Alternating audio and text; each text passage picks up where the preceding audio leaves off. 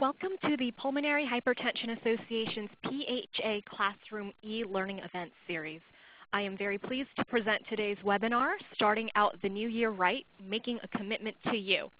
My name is Amanda Nguyen, and I am the Patient Education Associate at the Pulmonary Hypertension Association, and I will be moderating today's event. Today's program will include a presentation by Chris Archer-Chicko. The presentation will be followed by a brief question and answer period. During the call, Please note that all lines will be muted. So if you have a question, feel free to submit it using the chat function on your web interface. You will also have the opportunity to ask questions aloud by using the raise hand function on the web interface later in the call. And as a reminder, today's webinar requires a web login as well as an audio call-in. So if you're not yet logged into the web portion, you'll want to go to readytalk.com and type in 565-3004 under Join a Meeting. And also please note that today's call is being recorded. At the conclusion of the webinar, please take a few moments to fill out the brief evaluation that will pop up in your Internet browser once you've logged out of the webinar. We uh, value your feedback and use it to help shape future PHA programs.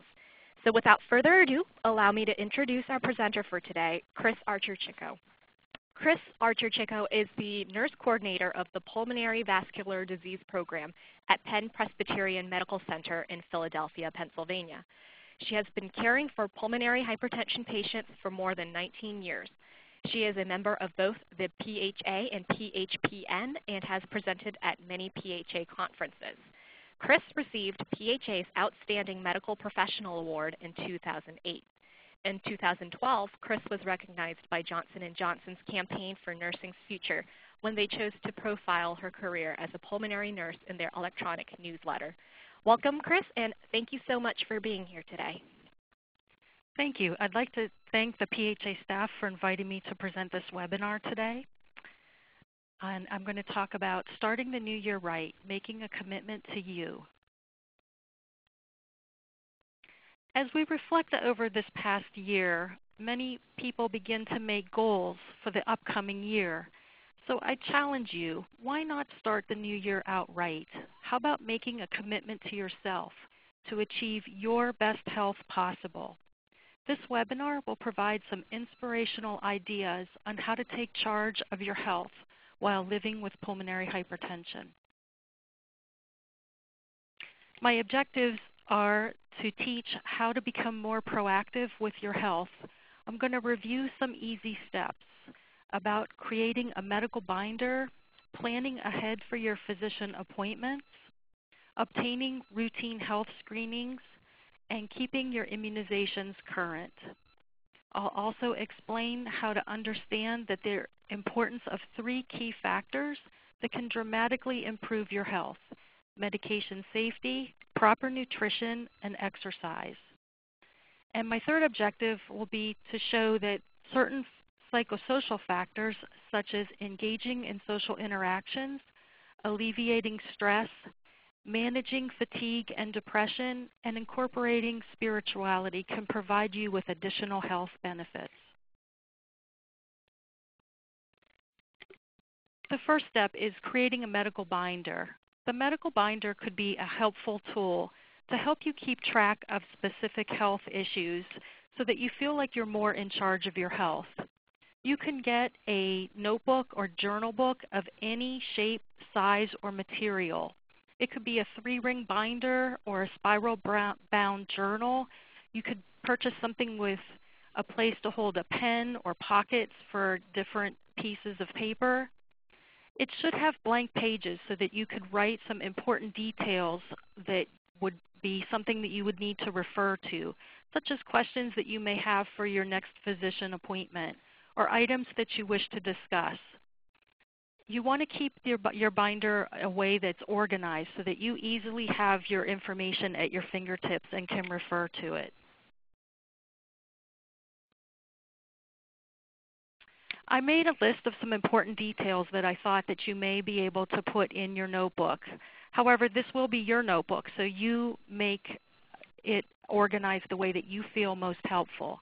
So you could list your physician names and addresses and fax numbers. You can put your list of your medications. And don't forget to include your vitamins, your herbal supplements, and you can list your drug allergies.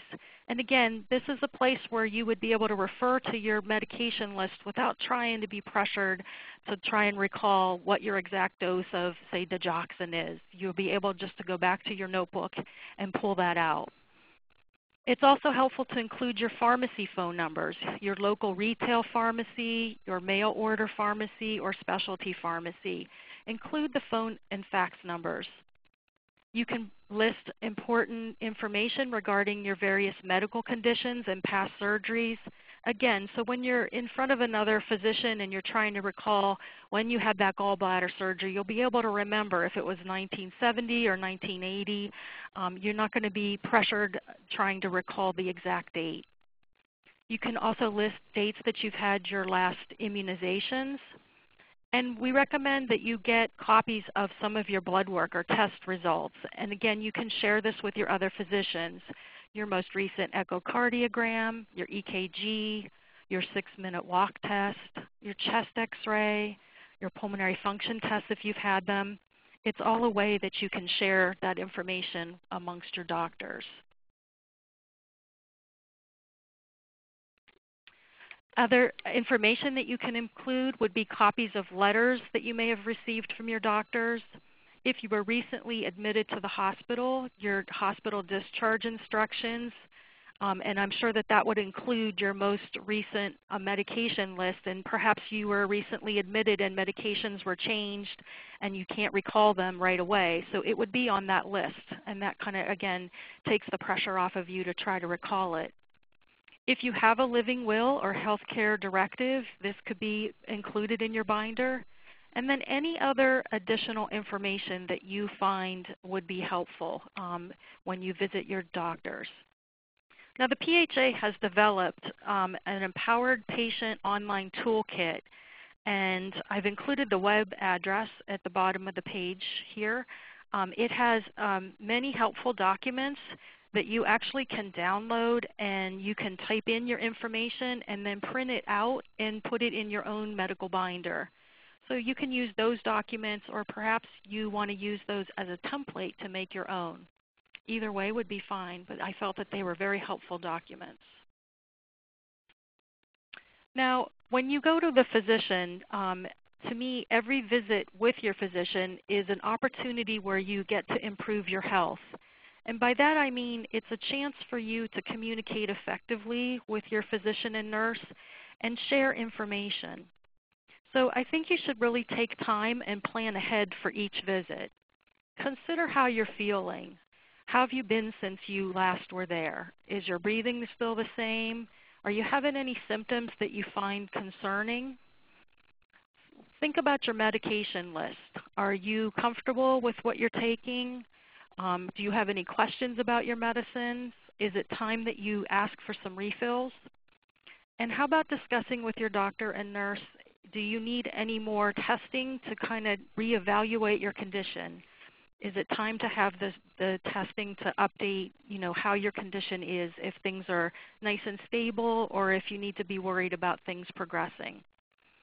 You can also include any questions that you have any items that you wish to discuss. And I think it's important that you keep all of your physicians up to date on your health status. If you have any changes or when you visit your PH doctor, he feels something's different, you need to share that with your other physicians to keep kind of everybody on the same page. Don't forget to see your other physician specialists, the dentist, the eye doctor, it's really important that you kind of think of yourself as a whole being and don't forget to do those other kind of maintenance um, appointments.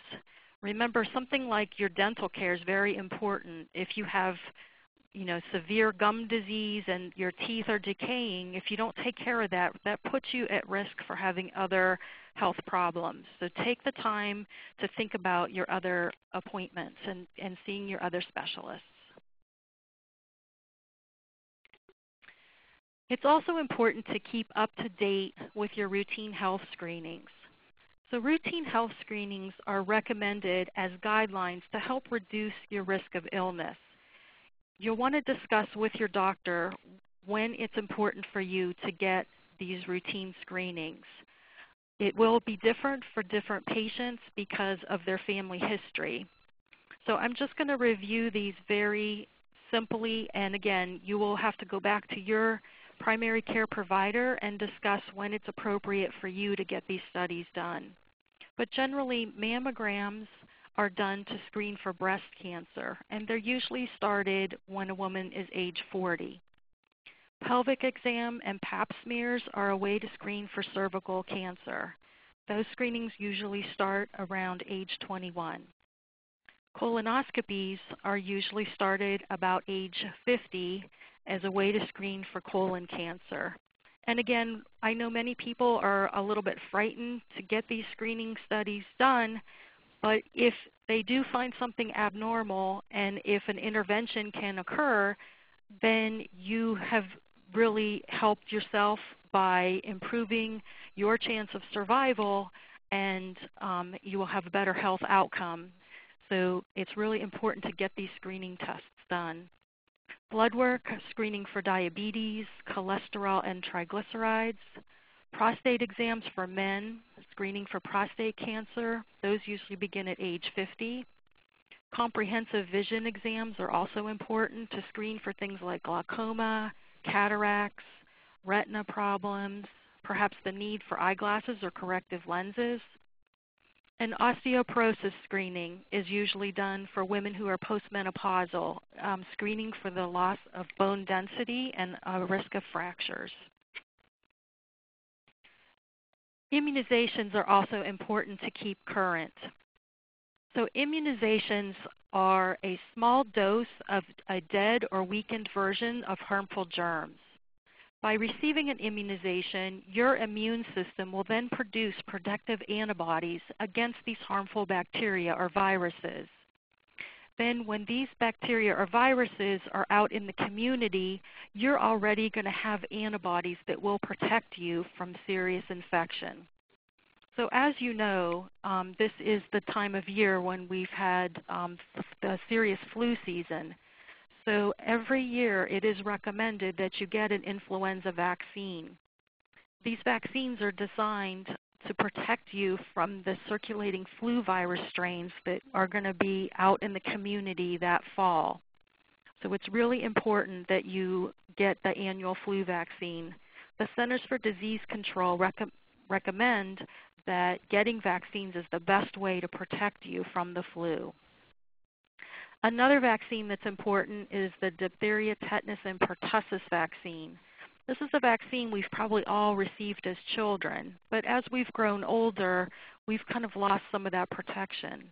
So it is important to consider getting a booster vaccine. Again, you will discuss this with your healthcare provider, but this vaccine is generally given about every 10 years. The pneumococcal vaccine is a way to protect yourself against common forms of strep pneumonia and pneumococcus. It's given about every 6 to 10 years. And the shingles vaccine is now developed, and it is a one-time vaccine that patients who are age 60 or older receive. It is a way to protect yourself against herpes zoster or the shingles, which is a painful viral infection that takes several weeks to recover. So if you're interested in finding more about vaccines, I found a website that is the cdc.gov slash vaccines that has a lot of information um, so that you can read more about these immunizations.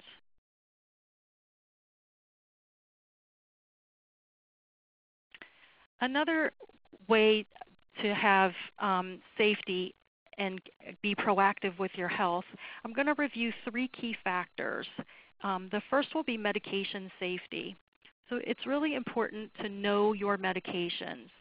You should know the brand name, the generic name, the strength of your pill, what the dose is, how it should be taken by mouth, um, or if it's something topical or if it's an IV medication, etc. How often you should be taking it, the frequency, you should understand why you're taking it, not just because your doctor said you should take it. You should understand the beneficial effects and the potential side effects. I really recommend that you carry a medication list with you at all times. And you can easily put this in your wallet. Um, you can write them all out on a wallet card and stick them in your wallet so that wherever you are, when you need to refer to um, or relate what your medicines are, you can go to that wallet card and pull it out and know that you're giving the correct information to the, your healthcare providers. It's also really important to be um, storing your medicines in an appropriate location. So you really want to put them in a place where they're away from heat and humidity and sunlight and children and pets. So I know a lot of patients store their medications in the bathroom closet, and really the heat and the humidity from bathing and showering um, can help to break the medications down, and then they won't be quite as potent. Likewise, sunlight will help degrade medications, so you should not be storing your medications on a shelf um, next to a window where a lot of sun comes through. A couple more tips about medication safety. You should follow your physician's directions for monitoring your medications. So if you require routine blood work, it's really important that you get that done. Certain medications, and the one that I can think of off the top of my head is Coumadin, really needs to be dosed carefully following blood work. Um, if blood work isn't maintained, then it just puts you more at risk for having complications. So um, if your doctor asks you to get the blood work done, it's really important that you do so, again, for your safety. If you have questions or concerns regarding your medicine, you do have many resources available to you. Um, you have your physicians and nurses and then the pharmacists that are working with you. So not only um, the local retail pharmacies, but if you use a specialty pharmacy, those pharmacists are also available to help you with questions. Do not interrupt your medical therapy by allowing your medicines to run out. So please don't take your last medication and then call your doctor's office and ask for a refill. Please allow your physician or pharmacy to have about seven days minimum um, to reorder your medication. You never know if your medication needs a pre-certification and then there's more paperwork and a couple more days or will go by before we can actually get your medication refilled. So please don't run out of your medication. And when you do receive your refills from the pharmacy, please be careful and check the label. I had a patient who went to her local pharmacy and she knew her doctor was going to start a new medication. She picked up her bag from the pharmacy and when she got home she opened the bag and there were two bottles so she took the medication out and just filled her little medication dispensing um, uh, jars.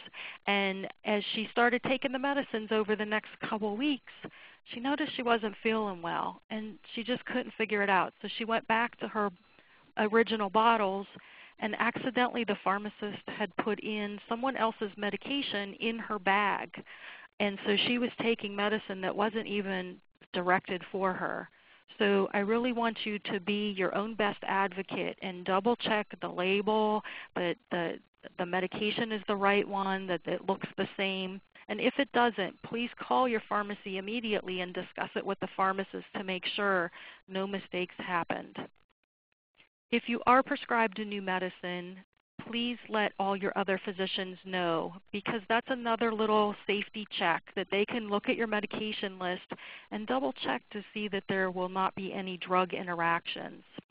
I do have patients who are on multiple, multiple medications, and I appreciate when my patients call in and say, you know, so-and-so started me on this new medication for my foot pain, and I like to be able to go back and double check to make sure that my patient's not at risk for having any drug interactions.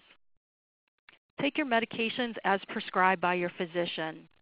Please don't adjust your dosing on your own without talking with the nurse or your physician because even taking extra diuretic can cause electrolyte imbalance and really put your health at risk.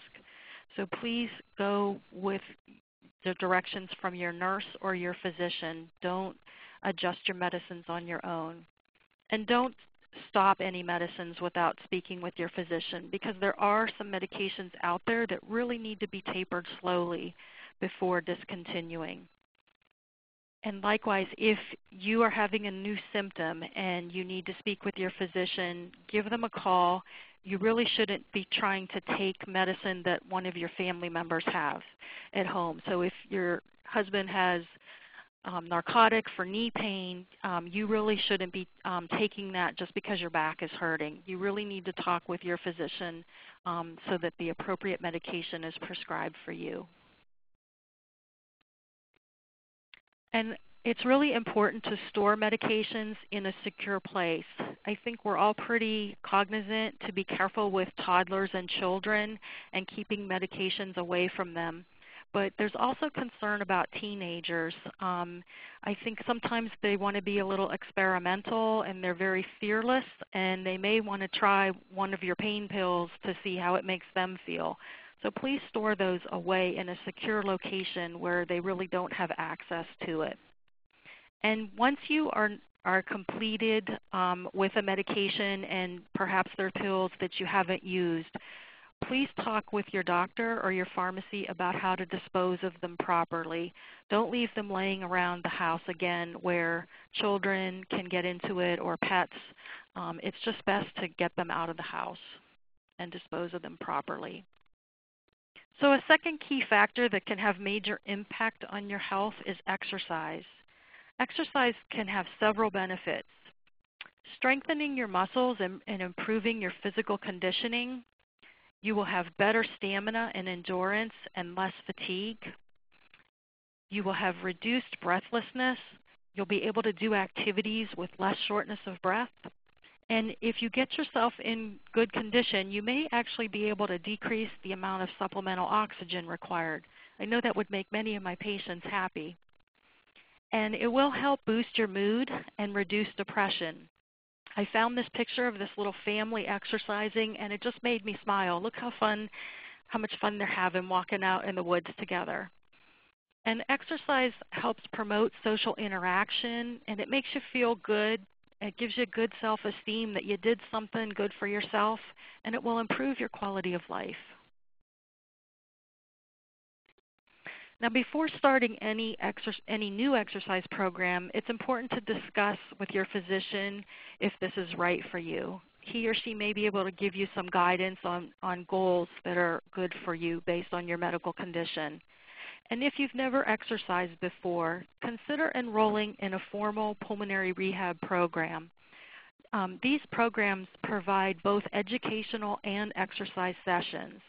Usually the pulmonary rehab programs start for 15 weeks where patients come in and exercise three times a week. Um, and the education in these sessions will include proper body mechanics, how to breathe, um, good breathing techniques, proper nutrition, and they will touch upon some psycholog psychological issues such as depression and anxiety.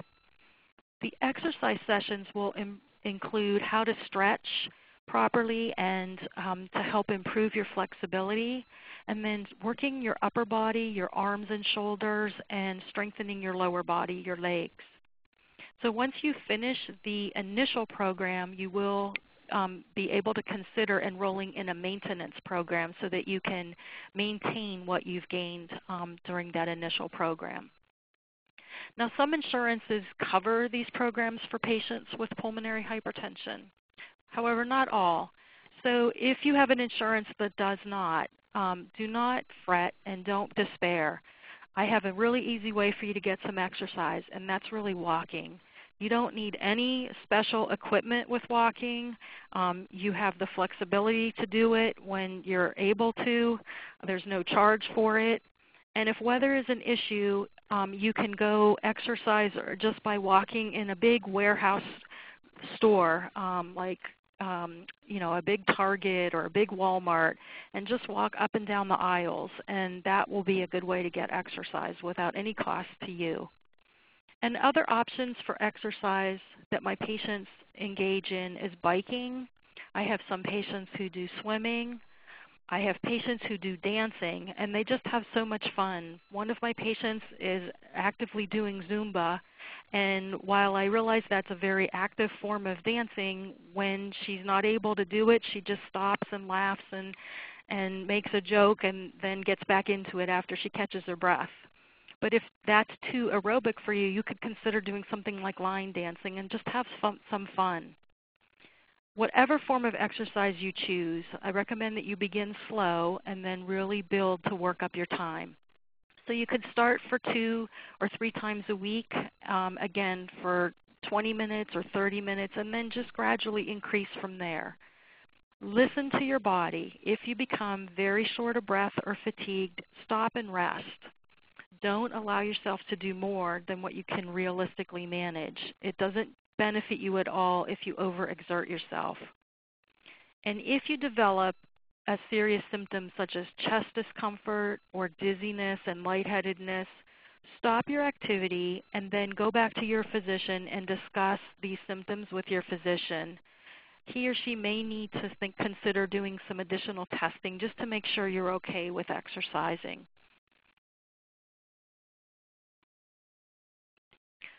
Another key factor to help improve your life is diet and nutrition. So making good diet choices is a way that you can have a positive impact on your health. And the benefits of good nutrition are that you're supporting your body, your musculoskeletal system, your, your muscles and bones, and, and your organs, your heart, your lungs, and you're providing them with nutrients and energy for metabolism. Making good diet choices will help you to maintain a healthy weight and it will reduce edema, and it will give you energy.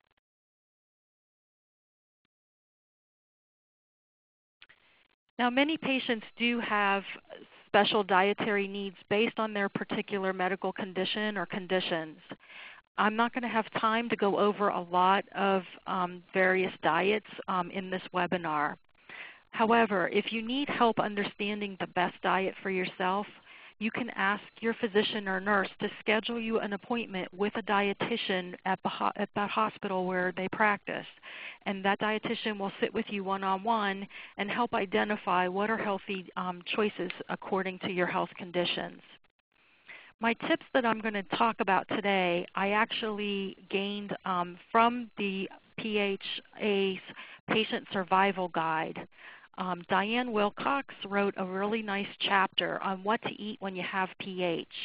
And I'm going to borrow a couple of her suggestions because I thought it was a really nice reference. And I encourage you to take a look at that chapter in your book. The most important diet that the majority of my patients are on is the low salt diet. And the reason that we talk a lot or teach a lot about the low salt diet to our patients is because when you take in excess sodium, it causes you to retain water in our system. It can lead to problems like systemic hypertension or high blood pressure. It increases the water and fluid in your blood vessels. It will cause increased swelling and edema, and it can lead to heart failure. So you know it's very important in a pulmonary hypertension patient to keep control of salt in the diet. And we recommend a diet about 1,500 milligrams to 2,000 milligrams of sodium a day. So as a rough estimate, that's about 500 to 600 milligrams of sodium a meal. It's really important to read labels. Many foods are really high in sodium and you may not realize it even when you taste it. Most importantly, processed foods and packaged foods and certain frozen foods are really, really high. So please compare the labels and try to make the best choices for you. Please refrain from salting foods when cooking. We really recommend that you try and flavor foods using fresh herbs or lemon juice or spices or garlic. It really gives it so much more flavor and you won't miss the salt that you had been using.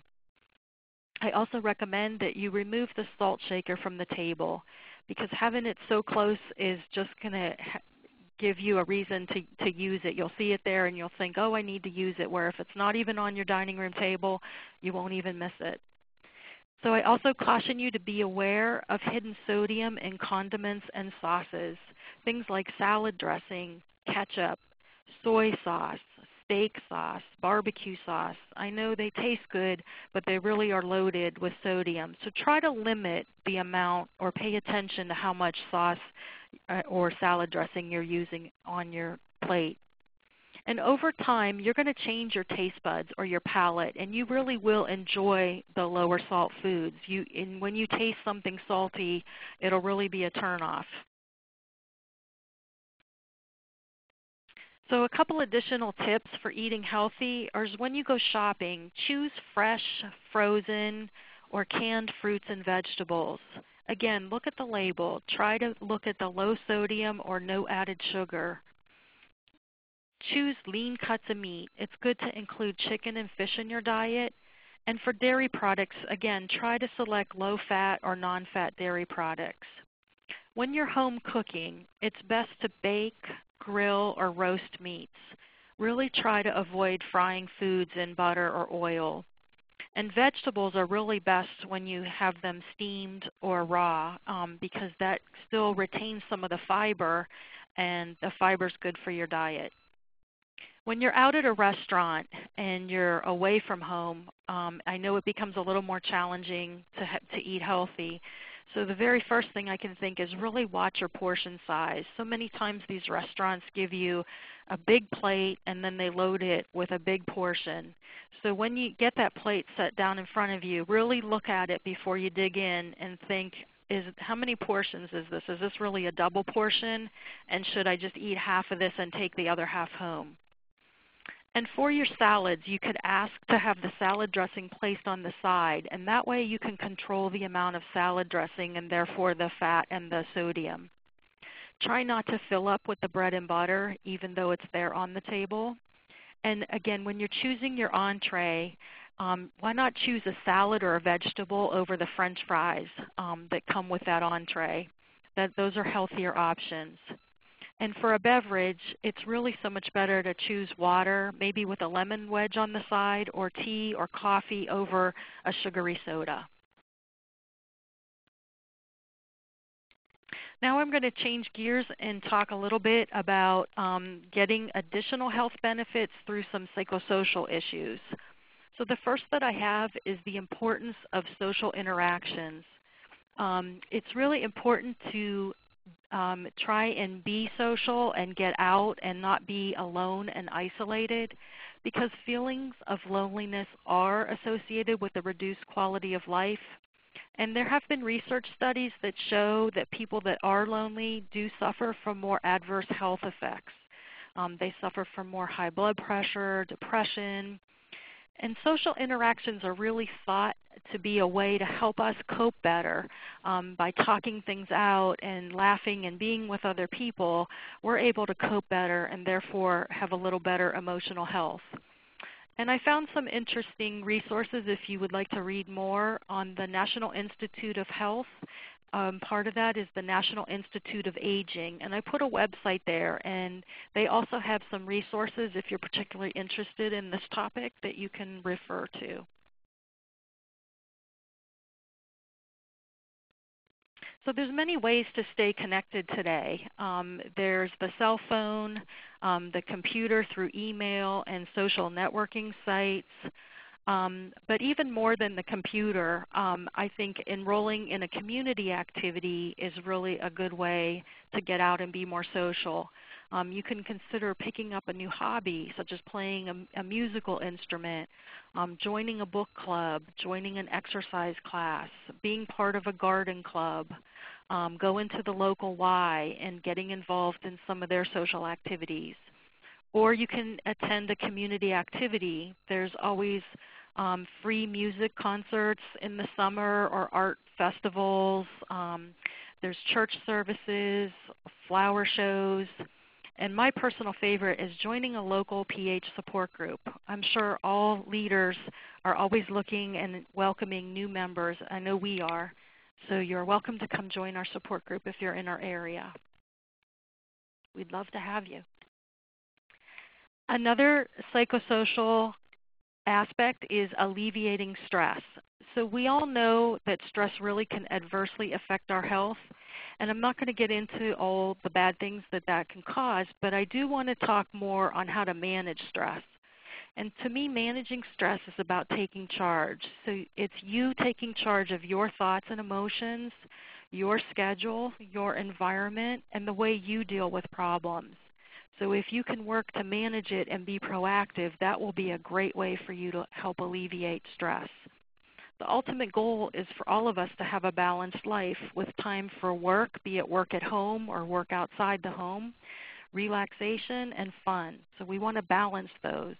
And plus, we still want to have some resilience just to hold up under those unexpected life challenges that can happen to us when, say, weather affects our house and we have damage or or something like that. So we want to not we still want to have some resilience left and that we can meet these challenges head on. So some stress management techniques. The first is to un avoid unnecessary stress it's okay to learn to say no. So you need to know what your limits are and to stick with them. And so you need to decide how you can do this so that you're not overextending yourself. So if someone wants you to go out to the store and you need to go home because you're tired and they're staying out longer and longer, you really need to learn how to curb that and say, you know, I need to be home by this time because I get too fatigued. The second is to learn how to alter the situation. So you need to be able to um, express your feelings. If there's an argument that you're part of, you need to learn how to calmly express your feelings. Maybe think about a way to compromise a little bit, but just try to control your reaction to it and and kind of slow yourself down, take a couple deep breaths, the third is how to adapt to the stressor. Again, if you're in a stress, stressful situation, you may need to think how can you reframe this problem? How can you think outside the box? And maybe just because you've always done something one way, maybe you need to just change a little bit of how you approach a problem, adjust your standards a little bit. And perhaps focusing on the positive aspects of the situation instead of the negative will be better for you. The fourth is to learn how to accept things that you can't change. Sometimes we just have to like let problems go and learn how to forgive. If you hold on to anger and resentment, that really is going to just contribute to your kind of distress and it's not healthy for you. So sometimes you just have to let it go. And number five, make time for fun and relaxation. Um, and you really should do that every day um, it's, it's important. And as the sixth one is adopt a healthy lifestyle, which is definitely some of the points I'm giving you today. So fatigue. I know many pulmonary hypertension patients experience fatigue as a symptom of their disease, and it's important that they find a balance between rest and activities. So again, I did talk about not overextending yourself. Be flexible realize that tomorrow is another day. What you don't get done today can be done tomorrow. And for those patients who really are exhausted, I recommend take a nap every day. It's it's okay if you do that. If it will if you do your morning routine or tasks and then you need to take a little nap and that energizes you so that you have a better early evening, then that's a good way to, to deal with that situation. So don't be ashamed of it. I know there's executives out there that take power naps so that they can stay efficient and on top of their game in the afternoon. Let other people help you. Um, they, it's important to be able to delegate some tasks and errands. Um, it not only does it help conserve your energy, but your friends and neighbors sometimes are looking for some way to be a part of your life and help you, and that's okay. Let them do that, then they will feel good about it. And again, as I said, if you don't have energy to participate in an activity, explain that you're not feeling up to it. Don't have any regrets or go on and on about your excuses. Just say, I can't do it, and, and let it go. Another issue that patients with pulmonary hypertension deal with is depression. And I know there's many times when you don't feel well and you may become uh, feeling depressed, have a depressed mood. And I think that's okay and I think you should realize that that can happen. But I also think you should think that you want to try and limit those feelings by taking some steps to work to change your mood. So you can choose a joyful attitude. And say, okay, today I'm not feeling good, but tomorrow I'm going to be better. And, and I like this little mantra, I'm in charge of how I feel, and today I'm choosing happiness. And I, I love that. And so if you set today to be your joyful day and you meet somebody grumpy, um, just realize that's their attitude for the day and you're going to be beyond that. Keeping active will help keep your mood. Um, and spending time in the sunshine. I know it's winter and we have gray and kind of cold days, but I think it's really great if you can get out on those mild days and get some sunshine. Changing your routine will help also with managing depression.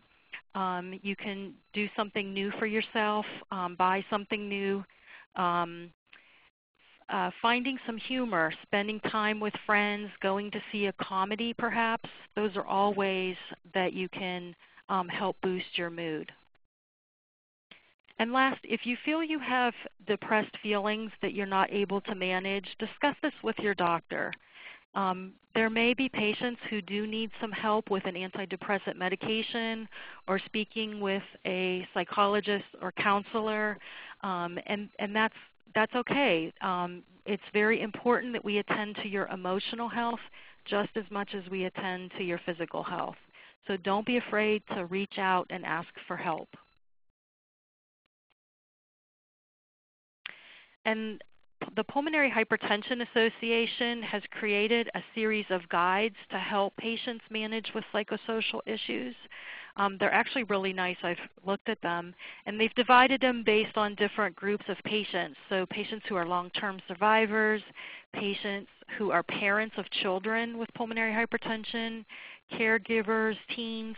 So I included the website there, and you can definitely look at those and get some information. And another tip is keeping your spirituality. I think it's really important that you maintain your spirituality and keep with your faith. And even if you can't go outside your home because you're not feeling up to it or you're too tired, there are ways that you can um, still maintain your spirituality. You can read an, a book or watch a show on TV or the Internet. You can invite church friends over, church members or clergy to visit with you and you can pray and be reflective on issues that are important to you. So those are all ways that you still can maintain your spirituality. So I hope that this web webinar has provided you with some inspirational ideas um, that may help improve your life and help you feel a little more empowered as you manage the challenges of pulmonary hypertension. I really want to thank you for spending this time with me, and I think I'm going to be able to take questions.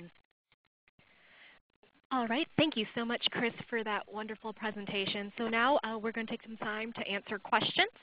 So you're able to send questions via the chat function on your screen, or you may ask questions aloud by using the raise hand function on your screen.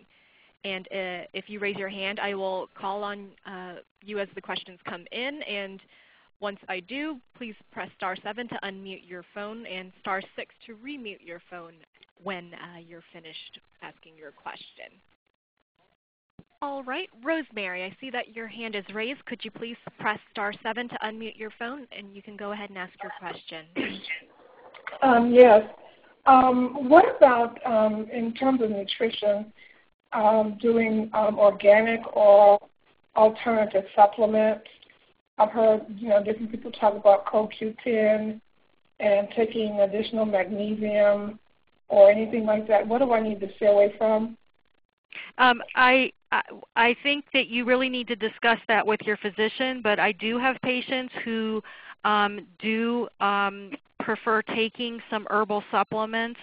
Um, and what we do is we ask them what they're interested in taking and um, if I'm not familiar with it, um, I will research it um, and include our pharmacists here at the hospital to make sure that there's not any hidden ingredients that we're not aware of to make sure nothing interacts with your other PH medications. Okay. Great. Thank you. Great. I see Stephanie, you have your hand raised. Could you please go ahead and press star 7 to unmute your phone? Hello. Um, I just have a couple of comments. Uh, I think it's really important, along with your medicine uh, listed, to have a medical ID bracelet for all the PH patients. Uh, we tell everybody up here in Minnesota to try to do that, and then they'll know to look in their purse or wherever for their list of meds. And another thing is to contact your EMT fire department. My husband went there with the list of my information and my doctor, and they were so grateful to get it. So that way, if we have an emergency here, they know what they're going to deal with when they come. Oh, Stephanie, those are very good mm-hmm. suggestions. Yeah, and then make sure your caregiver always has a list of your medicines too, just you know things oh that that's happen. a good one i had not thought of yes yes that's i think that's really important and mm-hmm. uh, another thing is i ask all my doctors my pulmonologist my cardiologist my primary doctor every time i have a t- test i have them fax it to my primary or my primary faxes it to the cardiologist so everybody is in the same loop and That's everybody's perfect. got the same information. So I That's just wanted perfect. to just wanted to say that and thank you for doing Oh. this today. oh thank you Okay. Goodbye. goodbye Thank you so much, Stephanie, for, for that suggestion. I just have something that, to add. The PHA, uh, through our PHA store, we offer the Emergency Medical Services brochure, and you're able to request that. They're free. Um, and basically, you can use that to fill out any relevant information that would be important to emergency personnel. And it comes with a magnet on the back side of the brochure, so you can tack that onto your refrigerator so it's in uh, plain sight in the case that uh, emergency personnel comes to your house, they can see it right then and there. those are really nice brochures we've um, passed those out to our patients also Yes, fantastic. So um, patients are more than welcome to visit the PHA website, the PHA store on our website, and uh, request those. Okay, I see that we have someone who just chatted in a question. The question is, where can I find low sodium foods and products beyond what is available at my small local grocery? Do high-end places like Whole Foods have more selection? I think all grocery stores um, have a big selection. The most important thing is to read the labels. Um, and you really want to try and look at what each serving, how many um, milligrams of sodium are each in each serving, and just try to choose um, the lower sodium versions um, of, for example, if you're going to buy a soup. You know, I think um, there's some uh, brands that are promoting as more low sodium, so you can check each of those labels. Um, it just is a little bit of extra time to read the labels, but it really will benefit you because they have much less problems with swelling and things like that. All right, so it looks like um, no one else has any questions. So I would like to thank Chris again for being with us today and leading this great conversation and giving us a very informative presentation. And I just want to let everyone know that the recording of this event will be posted to the PHA Classroom in the coming weeks. So be sure to visit www.phassociation.org slash classroom to find out about upcoming events and watch our many recordings. So with that, thank you everyone for joining us, and I hope you have a great afternoon. And please be sure to also fill out the survey that pops up on your screen as you leave the presentation. Thank you so much, everyone. Thank you, Chris. Thank you.